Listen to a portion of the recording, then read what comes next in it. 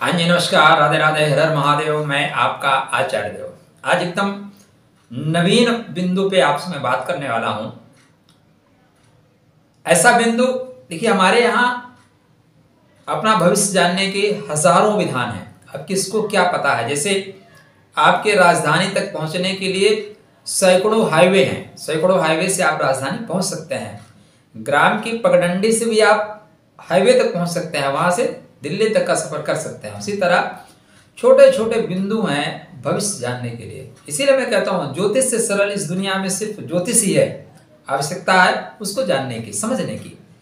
तो आज हम बात करेंगे शरीर पे उत्पन्न होने वाले जो मस्सा हैं उसको मासा बोलते हैं, उनसे उनकी चर्चा करेंगे। शास्त्र कहते हैं, एक जगह में एक पंक्ति मिली यूट्यूब पे मिली। उस पंक्ति को देख के मैंने विस्तार दिया। दाहिने मासा शुभ की आशा, दाएँ मासा शुभ की आशा, बाएँ मासा काम निराशा। पुरुष दाहिने, स्त्री वाम, मस्सा करता पूरा काम।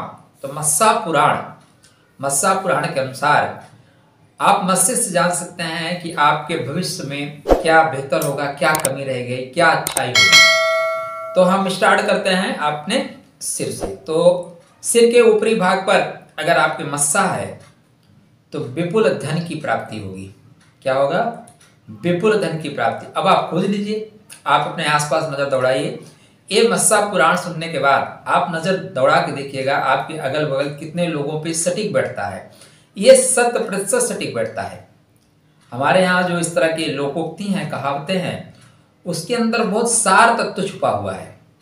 अब इसको अंग्रेज़ी में बुक आ जाती तो हम लोग जो है इसको जो पढ़े लिखे लोग हैं, वो बहुत लाइक करते हैं, क्योंकि अगर कोई चीज़ लोकोक्ति में है, संस्कृत में है, हिंदी में तो मैं लगता है, अरे ऐसे ही है हाँ? तो सिर के ऊपरी भाग पर है तो विपुल धन की प्राप्ति होगी, शास्त्रकारों का ऐसा कहना है। सिर के पिछले भाग पर है, पिछले भाग, मैंने जहाँ सीखा है, उसके नीचे। तो सौभाग्य का प्रतीक है, आप सौभाग्यशाली हैं। सौभाग्य का मतलब मान, सम्मान, पद प्रतिष्ठा, परिवार, सब कुछ प्राप्त होगा, ठीक है ना? ललाट पर अगर है तो धन आगमन का प्रतीक है। मैंने आपके पैदा होने के पश्चात ही जैसे आप पैदा होंगे, वैसे आपके घर में धन का आना शुरू हो जाएगा। धन आना शुरू हो जाएगा आपके उत्पन्न होने के बाद। मस्तक पर अगर आपके है तो मान सम्मान की प्राप्ति होगी। अब देखिए, जिसके मस्तक पे है, उसको कितना रिस्पेक्ट मिला है। आप अगल बगल अपने सर्च करके देखिए। भाव के ऊपर अगर है, भाव के ऊपर तो ये अच्छी बात नहीं है, दुर्भाग्य का प्रतीक है, सौभाग्य का प्रतीक नहीं है। भाव के मध्य अगर है, माने दोनों भावों के मध्य तो शास्त्र कहते हैं कि ऐसा व्यक्ति बहुत वाचाल होगा और वास्तव में या दुष्टात्मा होगा। राहु का प्रतीक होगा, अपने भ्रम जाल में सबको फंसा कर रख लेगा, अपना काम निकाल लेगा, फिर आपको छोड़ देगा। लेकिन ऐसे लोगों को दुष्टात्मा तो होगा, लेकिन ऐसे लोग, लोगों के बीच में बहुत प्रिय होंगे। उनको लोगों का स्नेह मिलेगा, प्यार मिलेगा, अपने लोगों का ज़्यादा स्नेह, प्यार मिलता है। अब दुर्योधन भी तो दुष्टात्मा था, लेकिन उसको अपने लोगों का प्यार मिला।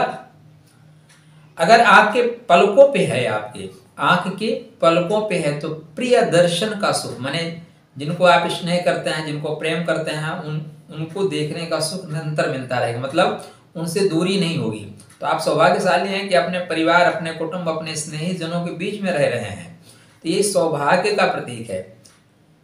अगर आपके कनपटी पे है, ठीक है ना, कनपटी पे आपके है तो कनपटी का जो है, कनपटी, भाव और ललाट, ये जो तीन जगह के मस्से हैं, शास्त्रकार ऐसे कहते हैं कि अगर आँख के मध्य में है, माने दोनों आँखों के मध्य में है, ललाट पे है आपके और कनपटी पे है तो ऐसा व्यक्ति एक समय के पश्चात जीवन में सर्वस्व त्याग करके सन्यास धारण कर लेगा। कारण कुछ भी होंगे सन्यास धारण करने के, लेकिन उसको सन्यास धारण करना पड़ता है। अगर आपके मस्सा नाक पे हैं तो नवीन वस्त्रों की प्राप्ति, मान सम्मान की प्राप्ति, नाक आपकी बची रहेगी, प्रतिष्ठा रहेगी, नाक वाले रहेंगे आप। अगर आपके गाल पे है, ठीक है ना गाल पे है तो पुत्र की प्राप्ति होती है। माने पुत्र का सुख, पुत्र प्राप्ति के तात्पर्य पुत्रों से सुख की प्राप्ति। पुत्र तो सभी को जाते हैं। तो पुत्र प्राप्ति और पुत्रों के सुख की प्राप्ति आपको होगी। माने जीवन आपका लंबा होगा, सौभाग्यशाली होगा। अगर आपके ओंठ पर है तो उत्तम भोजन, ठीक है ना? उत्तम भोजन, लेकिन पिपासा रह जाती है। पिपासा युक्त जीवन होता है, कुछ न कुछ रह जाता है। भोजन तो आपको मिलेगा, लेकिन प्यास अधूरी रहती है, तृप्ति नहीं होती, आप ऐसा कह सकते हैं। भोजन भट्ट टाइप लोग। कितना भी खा ले, लेकिन कुछ अधूरा सा रहता है। अगर आपके मस्सा कान पर है तो आध्यात्मिक ज्ञान की प्राप्ति होगी आपको जीवन में। गूढ़ तत्व तो आपके अंदर सहज रूप से आ जाएँगे। कोई व्यक्ति ऐसा मिलेगा जो गूढ़ तत्वों का दर्शन आपको करा देगा। माने अष्टम भाव आपका जागृत हो जाएगा। और अगर आप स्त्री जाति का हैं तो आपको आभूषणों की प्राप्ति होगी ज्ञान के साथ साथ। आपके कंठ पर हैं, गले में हैं तो आप स्त्री जाति का हैं तो स्वर्ण आभूषण पहनने का सुख मिलेगा आपको। और उत्तम भोजन भोजन आपको अच्छा मिलेगा। आपके शब्दों से लोग मोहित हो सकते हैं। नाक पर है तो ना, नाक पर हमने पहले बताया नाक पे है तो मान सम्मान मिलेगा लेकिन शास्त्रकार कहीं कहीं बताते हैं नाक पर है तो दुष्ट आत्मा भी हो सकता है जहाँ तक जहाँ तक क्या हो सकता है? दुष्ट आत्मा अपने नाक बचाने के लिए दूसरों की नाक कटा सकता है ठीक है ना?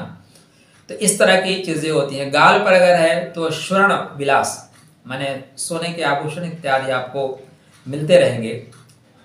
पीठ अगर पीठ पर है तो सेज उड़ासा ठीक है ना? मतलब बिस्तर बंधते रहेंगे। ठीक है ना? एक जगह बिस्तर नहीं रहेगा। आज यहाँ तो कल वहाँ टीडी आपको जाना पड़ेगा। पेट के मासा, अन्न निराशा। अगर पेट पे आपके है, उधर पे है तो अन्न आपको कम मिलेंगे। भरपेट मात्रा में भोजन नहीं मिलेगा। मतलब जीवन आपका कष्ट युक्त होगा। आय के स्रोत बंद हो जाएँगे। मतलब द्वितीय और एकादशेश आपकी कुंडली में परेशानी में है। ये मस्सा आपको बता देगा बिना कुंडली देखे। अगर आपने कुंडली देख लिया किसी के तो आप जान लीजिए कि उसके द्वितीय और एकादशेश दोनों पीड़ित है या दोनों छह आठ बारह में बैठे हैं। इसलिए व्यक्ति को जीवन में इस तरह की चीज़ों चीज़ों से दो चार होना पड़ेगा। तो कुंडली खोल के आपके सामने मस्सा रख दे रहा है।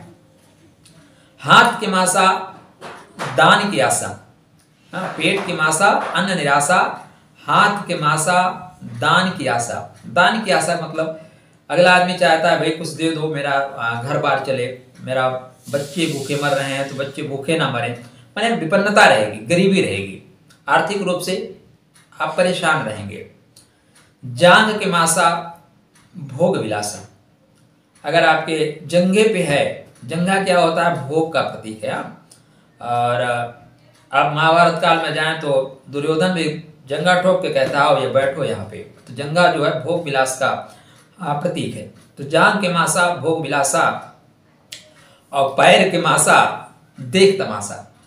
जो पैर का मस्सा आता है देश निकाला तक करा देता है, ठीक है ना? आपको देशाटन, तीर्था, देशाटन, तीर्थाटन नहीं, देशाटन करना पड़ता है, घूमना पड़ता है।